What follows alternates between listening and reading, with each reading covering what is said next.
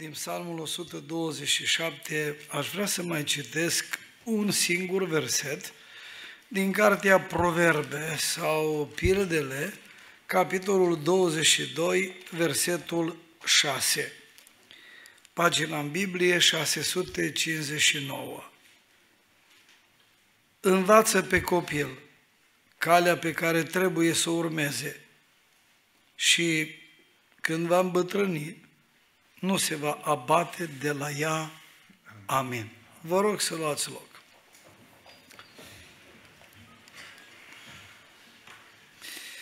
Astăzi uh, e o zi de bucurie în familia Pipaș, o zi de bucurie în familia lărgită Pipaș, în uh, aceste familii care astăzi uh, au venit, familia Gogea, să-și vadă nepoata.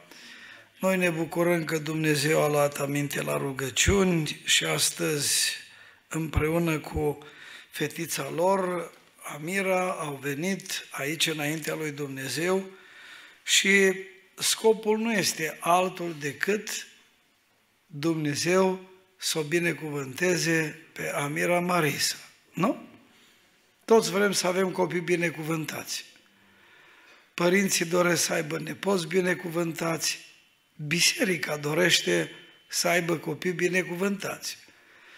Eu ca pastor mă bucur să văd uh, copiii care îl slujesc, îl onorează pe Domnul, când cresc, decid să-L aleagă pe Dumnezeu, ca mai apoi și ei să se implice în lucrarea lui Dumnezeu.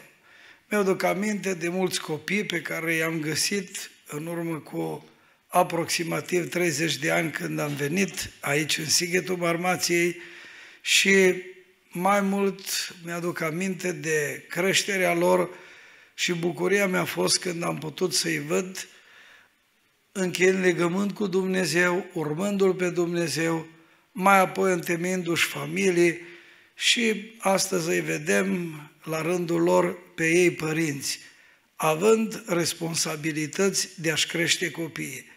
Este ceva normal, am putea spune. Este ceva ce Dumnezeu a prevăzut în cuvântul său. Solomon e unul din mari oameni pe care i-a avut omenirea. Mă rog, în ciuda faptului că a mai avut și el anumite lucruri în viața pe care a trăit-o aici pe pământ, cu toate acestea, el rămâne unul din cei mai puternici oameni care au trăit vreodată pe pământ, unul din cei mai înțelepți oameni pe care i-a avut omenirea.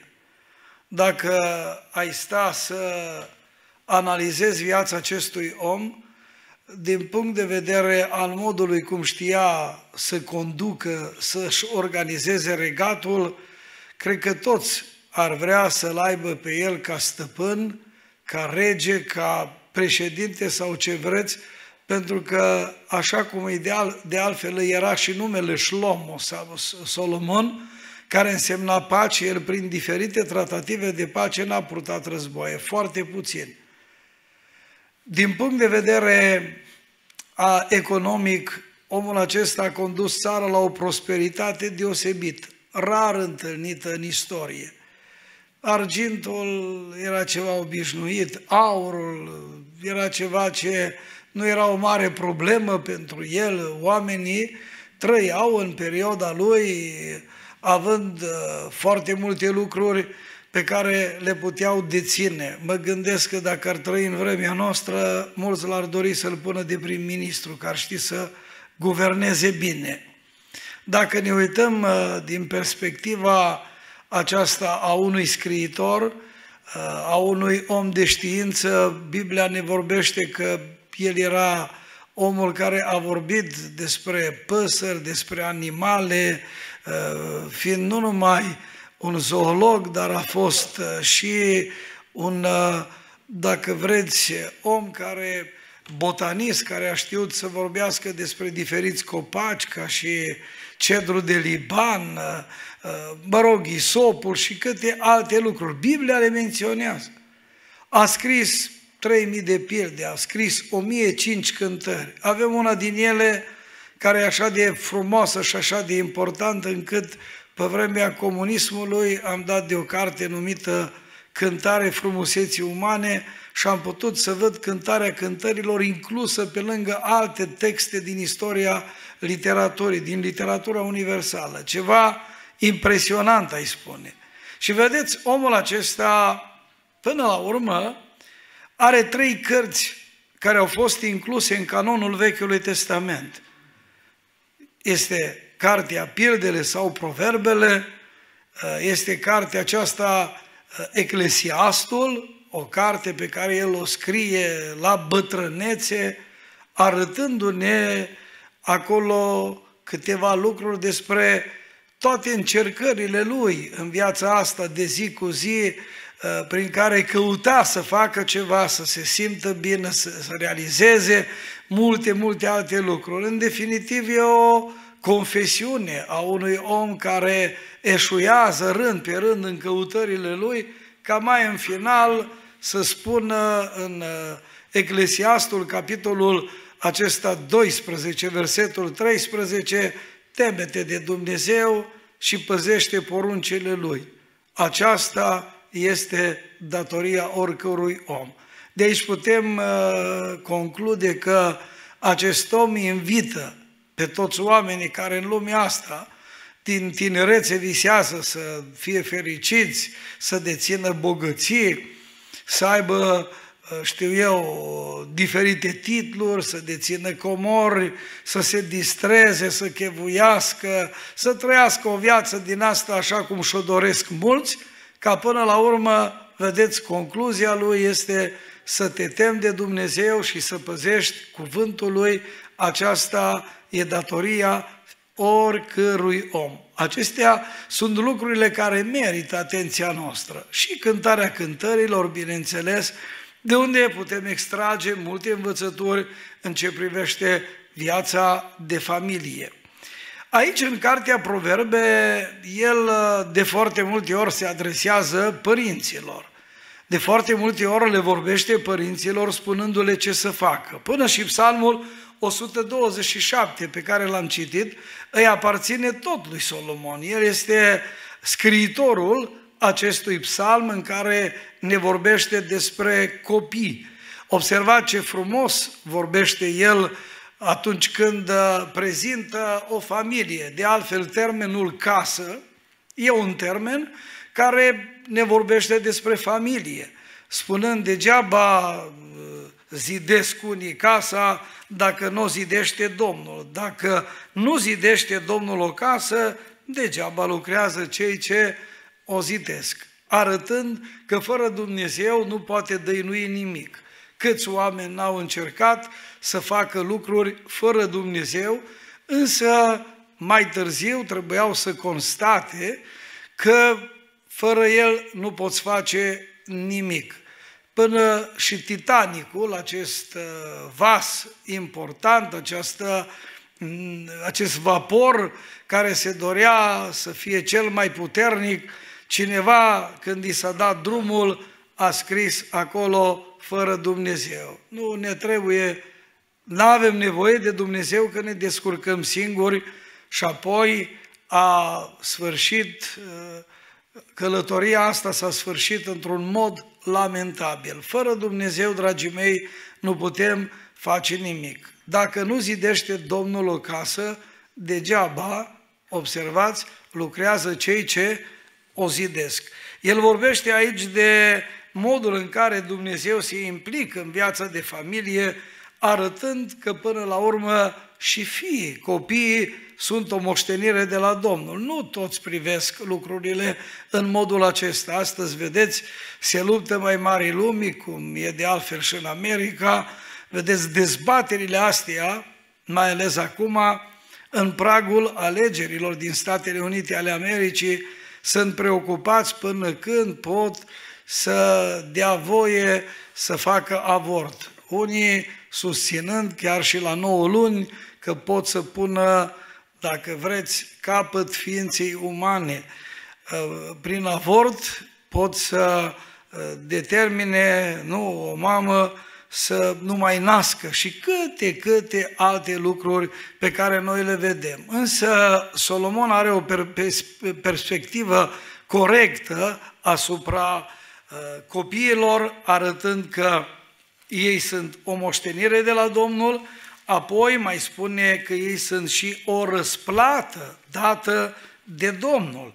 Și tot aici el ne vorbește, Solomon, într-o lume care de multe ori și-a pus problema cum vor putea uh, o familie, cum va putea să-și hrănească, să-și întrețină copiii, mai ales în perioadele astea de criză prin care trece omenirea, foarte mulți au ajuns în punctul acela în care s-au gândit că e destul și un copil. Vorba cuiva care spunea, dacă ar fi putut, ar fi făcut și jumătate de copil, pentru că fiecare avea înțelegerea lui. Însă Solomon, pe lângă faptul că vorbește de casă, de binecuvântările casei, de copii care trebuie să fie într-o casă ca niște săgeți, și spune el ferice de cel ce își umple tolba cu ei, tot Solomon precizează ceva foarte important, așa cum spuneam într-o vreme când mulți își pun problema existenței, cu cei vor întreține și câte altele, uitați-vă aici cuvântul lui Dumnezeu ne spune degeaba vă sculați de dimineață și vă culcați târziu ca să mâncați o pâine câștigată cu durere, căci prea iubiților lui el le dă pâine ca în somn. Nu zice că în somn le dă, dar ca în somn. Adică aici arată implicarea directă a lui Dumnezeu în viața de familie, modul în care Dumnezeu știe să îngrijească de ai lui.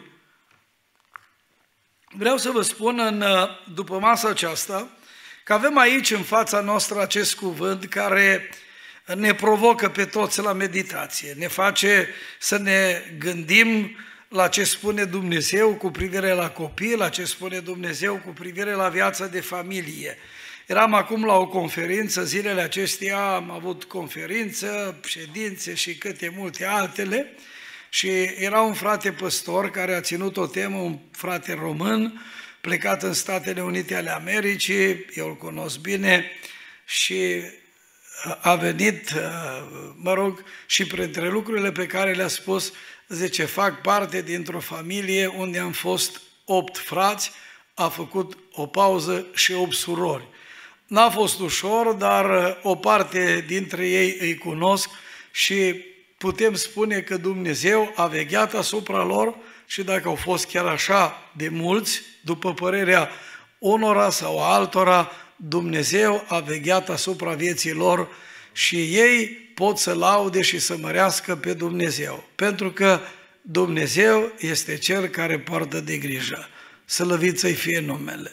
Dar vedeți dumneavoastră, pentru noi unul din lucrurile importante pe care trebuie să le facem este, așa cum spune Solomon aici în versetul 6, învață pe copil calea pe care trebuie să o urmeze și când va îmbătrâni, nu se va abate de la ea. Mesajul pe care îl voi transmite cu ajutorul lui Dumnezeu l-am intitulat ca să învățăm pe copiii noștri calea Domnului. Ca să învățăm pe copiii noștri calea Domnului. Foarte important este să-ți înveți copiii calea Domnului. Primul lucru ca să putem învăța pe copiii noștri calea lui Dumnezeu e necesar să realizăm că avem o, responsabilitate, o mare responsabilitate. Să realizăm că avem o mare responsabilitate de a învăța calea Domnului. Asta presupune mai întâi să o cunoști tu, nu? Asta presupune ca eu și dumneata, părinții, trebuie să aibă o relație cu Dumnezeu. Și în momentul când oamenii au o relație cu Dumnezeu, în momentul în care oamenii sunt pe calea lui Dumnezeu, atunci cu siguranță ei vor avea ca obiectiv să-și învețe copiii calea Domnului. Aduceți-vă aminte de unul din mari oameni ai Bibliei. Numele lui este Avram. Ne ducem în cartea începuturilor, în capitolul 19 din Geneza, da? Aceasta este cartea începuturilor Și știți că trimișii cerului stau de vorbă cu Avram. Vorbesc cu el despre Sodoma și Gomora. Au venit cu o misiune clară, da, de a nimici Sodoma și Gomora, acele localități în care nelegiuirea a atins cote inimaginabile. Și la un moment dat, în uh, discuția pe care o au cu Avraam, observați cuvântul lui Dumnezeu ne spune în Geneza, capitolul 18, de la versetul 16. Bărbații aceia s-au sculat să plece și s-au uitat înspre Sodoma. Avram a plecat cu ei să-i petreacă. Atunci Domnul a zis, să ascund eu oare de Avram ce am să fac? Căci Avram va ajunge negreșit, un neam mare și puternic, și în el vor fi binecuvântate toate neamurile pământului. Și acum auziți, căci eu îl cunosc și știu că are să poruncească fiilor lui și casei lui, după el să țină calea Domnului, făcând ce este drept și bine, pentru ca astfel să împlinească față Domnul față de Avram ce i-a făgăduit. Observați că cel cunosc și știu că are să poruncească fiilor lui și casei lui după el să țină calea Domnului. Vedeți, spuneam ca să poți să, să înveți copiii calea lui Dumnezeu, trebuie să înțelegi, trebuie să înțelegem că avem o responsabilitate din partea lui Dumnezeu. Nu toți înțeleg asta. Pentru mulți, responsabilitatea pe care o înțeleg față de copii este să le facă, știu eu, poate uh, o casă, să le asigure doar lucrurile acestea necesare, zice copilul meu, trebuie să poarte numai haine de firmă, să aibă cele necesare, cât de multe tabere, cât de multe excursii, mâncare cât mai bună, când ajunge, știu eu, uh, mai mărișor să-i facă rost de tot felul de biciclete, cât mai scumpe, când poate mai mare motociclete, mașini și câte altele, creând tot confortul. Câți părinți n-au muncit pe brânci, nu? Să facă una, să facă alta, dar fără să înțeleagă că au acea responsabilitate din partea lui Dumnezeu să-și învețe copiii calea Domnului. Părinții au grijă să-și învețe copiii să știe matematică, să știe informatică, să știe limbi străine, să cunoască nu știu câte și câte lucruri. Și ai zice că nu-i rău. Numai că, vedeți, noi schimbăm prioritățile. Și vai, pe mulți părinți am văzut de-a lungul anilor, punând accent pe aceste lucruri care țin de aici, de pământ, fără să înțeleagă aceste lucruri atât de importante, aceste priorități, da? În ce privește calea lui Dumnezeu. E atât de important să poți să-ți dai seama că tu ca părinte ai responsabilitatea să-ți înveți, nu? Copiii, calea lui Dumnezeu. Și dacă bună oară ai ajuns să-L cunoști pe Dumnezeu, tu ești responsabil de a avea grijă de copiii tăi, să-i ții pe calea lui Dumnezeu. Dar vedeți dumneavoastră, te uiți așa, de multe ori am crescut într-o familie de oameni simpli, dar eu știam ce înseamnă casa Domnului, știam ce înseamnă rugăciunea, eu nu o să uit pe tata care era un om simplu, dar rugăciunea era rugăciune, parcă și acum am răsunat în urechi că trebuia să mă rog să mergem la biserică. Poate că uh, de multe ori le convine copiilor sau nu le convine, dar veneam la calea, casa Domnului. Acum vedeți, eu stau și mă întreb, mulți dintre părinții din biserică, dintre ăștia moderni, care în zilele noastre nu, au pretenție că știu multe. La casa Domnului nu vin, la adunare poate vin o dată pe săptămână și aia când vin, câte o duminică, după masă nu ai mai văzut cine știe când, marți și joi, nu știu cât. Ei, copiii cam se uită ce fac părinții, nu?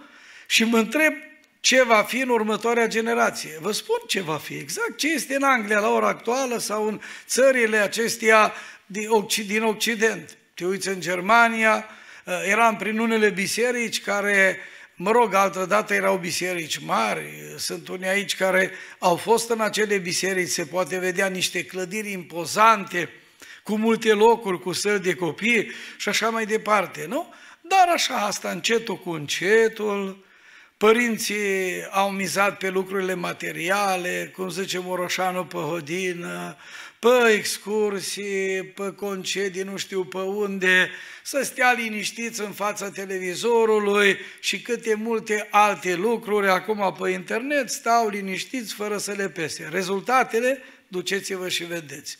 Într-o clădire de sute și sute de oameni, la ora actuală se mai adună 20-30 de oameni în vârstă.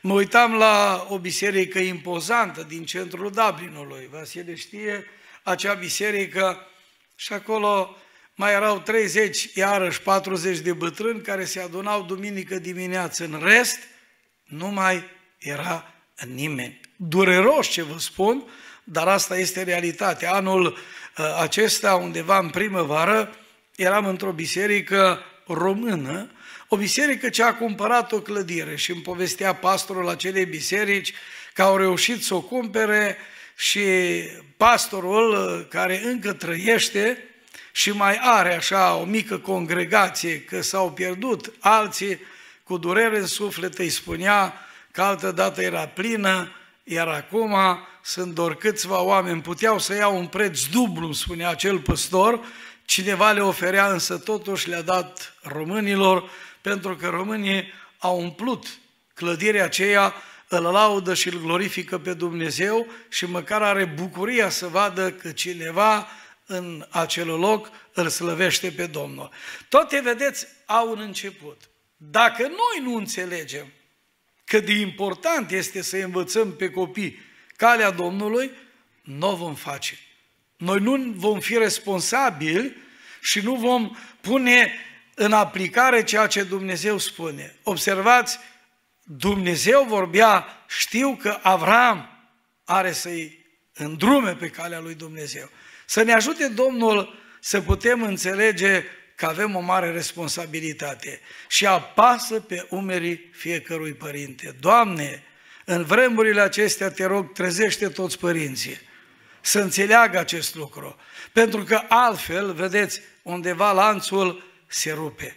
Și de aceea apar, apar problemele. Un al doilea lucru, ca să învățăm pe copiii noștri calea Domnului, presupune să-i învățăm calea Domnului. În momentul în care înțelegi că ai o responsabilitate, da? Să-i înveți, da? să ca, ca ei să poată fi îndrumați pe calea lui Dumnezeu, în al doilea rând trebuie să-i învățăm calea lui Dumnezeu. Vedeți, calea Domnului nu e ușoară. Știți, era o cântare veche, calea crucii, calea crucii. Sau o altă cântare, pe cale îngustă, e luptă. Plăceri, deșertăciuni pe ea nus. Nu e împodobită, dai dreaptă și duce unde? În cer sus. E vedeți, aceasta este calea lui Dumnezeu. Calea lui Dumnezeu ea presupune ca eu și dumneavoastră să cunoaștem acest cuvânt al Scripturii și să putem fi gata să-i învățăm pe copiii noștri calea lui Dumnezeu. Iar mergeam cu pastorul acesta, era undeva, de care v-am spus unde e biserica, într-un cartier unde erau foarte mulți evrei, foarte multe sinagogi, chiar am intrat într-o sinagogă, era vineri seara, am vrut să văd și eu cum e acolo și îmi arăta așa o cutiuță pe uh, undeva pe tocul ușii. Și asta arăta că acolo locuiesc evreii. E vorba de niște învățături pe care ei le au, conform cărții Deuteronom, acolo unde Moise, ca un slujitor al lui Dumnezeu, trebuia să dea niște îndrumări clare poporului lui Israel care intra în țara Canaanului, le spune următoarele cuvinte. Deuteronom 6, de la 6 în jos. Și poruncile acestea pe care ți le dau astăzi, să le ai în inima ta, să le întipărești în mintea copiilor tăi și să vorbești de ele când vei fi acasă, când vei pleca în călătorie, când te vei culca și când te vei scula. Să le legi ca un semn de aducere aminte la mâini și să-ți fie ca niște fruntare între ochi. Să le scrii pe ușorii casei tale și pe porțile tale. Observați responsabilitatea pe care o aveau evreii, să-și învețe copiii calea Domnului, să-și învețe copiii acest cuvânt al lui Dumnezeu. Scumpii mei, e foarte important ce scriem pe, cum spunea cineva într-o împrejurare, pe cola aceea nepieritoare a sufletului copilului. Dacă scrii acele principii veșnice ale dreptății lui Dumnezeu, ale temerii de Dumnezeu, ale iubirii de aproapele, aceste principii vor străluci în viața de acum, dar și în cea viitoare. Foarte important este ca în mintea copilului să poți să dii această învățătură. Eram astăzi la un eveniment mai deosebit, la uh, Tulgheș, fratele pastor Bărle, cel care a fost în mandatul trecut președintele comunității, a fost Dumnezeu a ieșit la pensie, a fost o întâlnire, am fost cu frații din conducerea comunității, a fost invitat și primarul din comuna Mireșu Mare, un primar pe care îl cunosc de ceva timp, a fost mai multe mandate și dumnealui printre lucrurile pe care le-a spus uh, din vremea aceea a comunismului, că la un moment dat uh, bunica lui îi lua, îl lua pe el și pe fratele său și duminică îi ducea la biserică.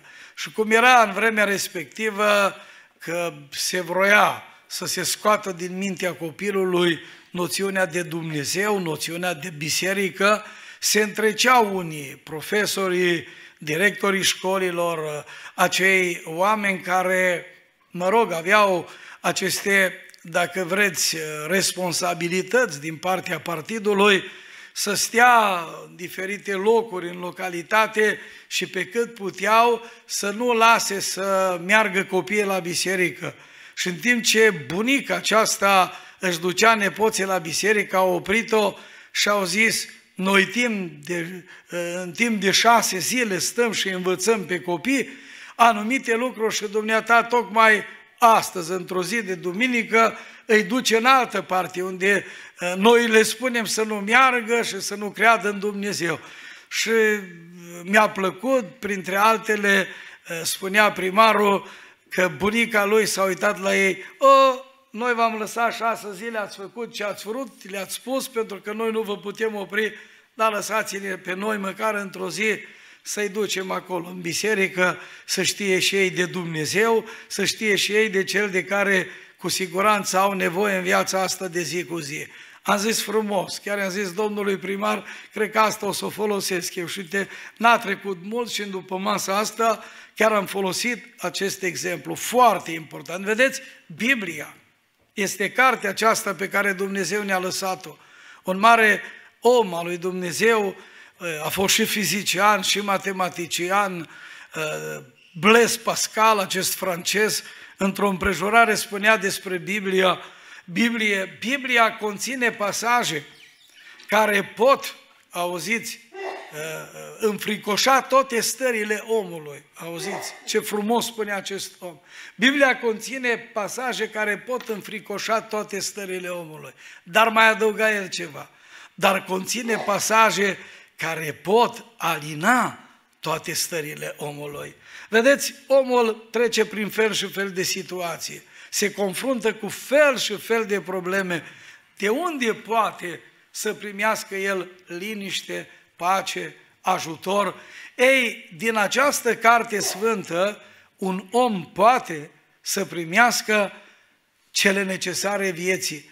Dumnezeu are întotdeauna un cuvânt pentru noi, într-o lume bulversată de fel și fel de probleme, într-o lume în care sunt războaie, probleme. Uite, uh, sâmbă, vineri, împreună cu fratele Dialog, Pipaș, cu fiii mei și cu un frate diacon uh, din Bistrița, am fost la Lvov, acolo unde au putut auzi mărturiile multor tineri care stau acolo la seminarul teologic, nu mai au unde merge, casele lor distruse, fraților împrăștiați în diferite locuri și te uitai la ei, te uitai la necazul lor, la problemele cu care se confruntă, în discuțiile pe care le-am avut cu fratele Panocico, cel care a fost episcopul Ucrainei, cu celălalt episcop al Lvovului, al regiunii, am stat de vorbă, erau și frații, ne vorbeau de lucrurile care sunt și printre altele spuneau, spuneți-le fraților salutări, mulțumiri pentru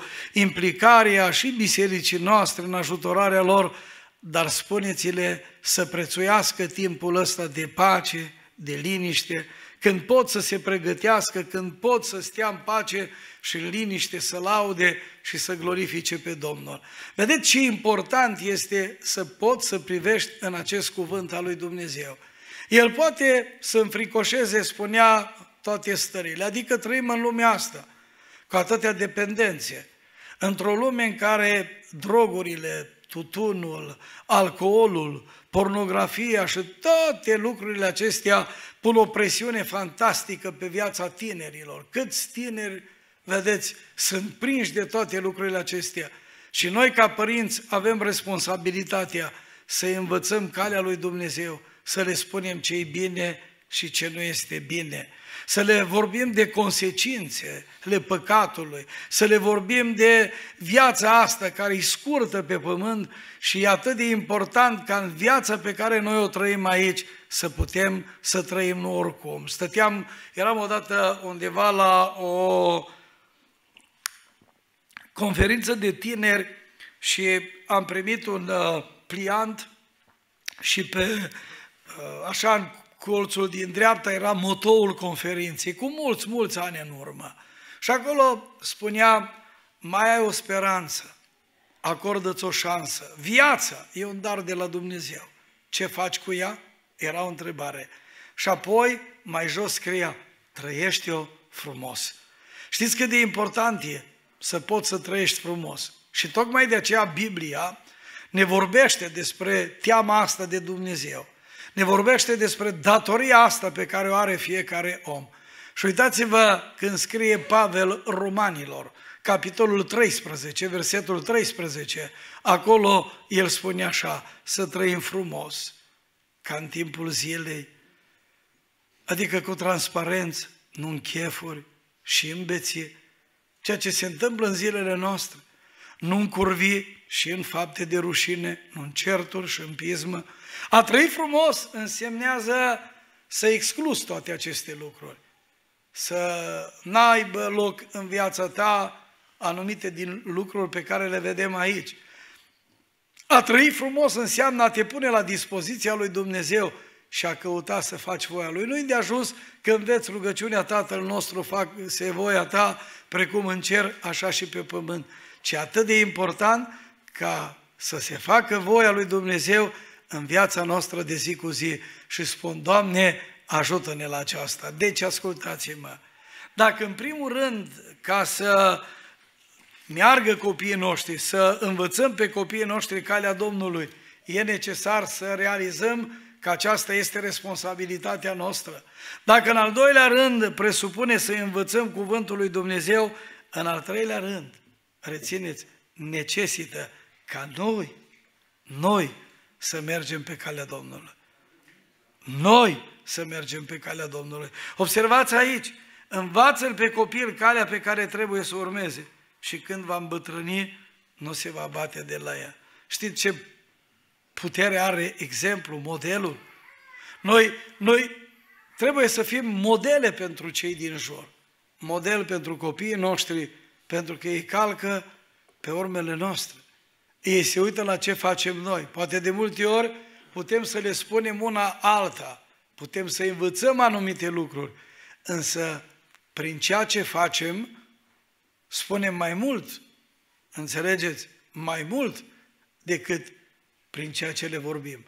Ei privesc la noi, la conduita noastră, la viața pe care noi o trăim, la modul cum ne relaționăm la cei din jur, la modul în care îți respect soția sau soțul, la modul cum te relaționezi la ei, poate la părinții tăi, la rudele tale, la vecinii tăi, ei toate astea le urmăresc.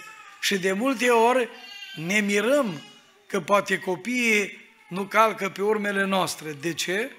Pentru că nu suntem adevărate modele pentru ei. De ce eu mă rog lui Dumnezeu să putem să fim cu adevărat modele pentru ei. Așa de mult mi-au plăcut cuvintele pe care David le-a spus fiului său. Uitați-vă în 2 Cronici, 1 Cronici, capitolul 28, versetul 9. E aici un cuvânt care întotdeauna m-a impresionat.